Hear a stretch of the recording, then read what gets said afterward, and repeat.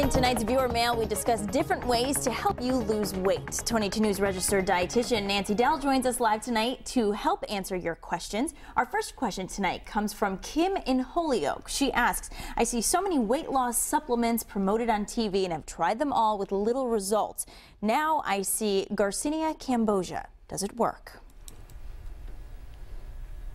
So many clients have been asking me about this. Garcinia is a fruit native to Indonesia. The active ingredient is found in the rind and is reported to reduce appetite. But the studies on Garcinia and weight have mixed results. Some show it has no effect on weight and others show a very slight increase in weight loss, one quarter pound a week compared to a placebo. Plus, with all the hype, there has been a landslide of Garcinia products entering the marketplace and tests by ConsumerLab.com found more than half of the products they tested did not contain the amount of Garcinia claimed on the label.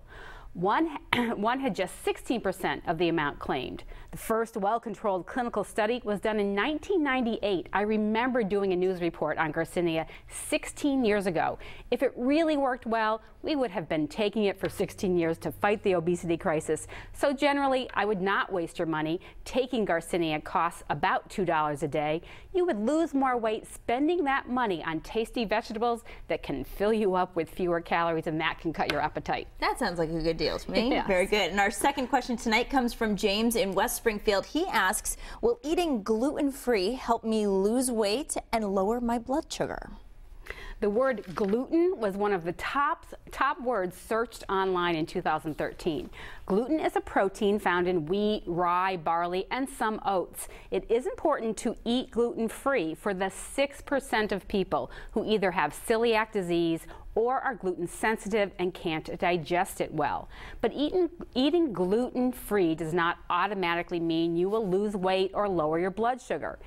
If you eat gluten-free pasta, pretzels, pastry, cookies, bread, and so on, you may actually gain weight because the gluten-free versions of these foods are usually very processed and not whole grain products.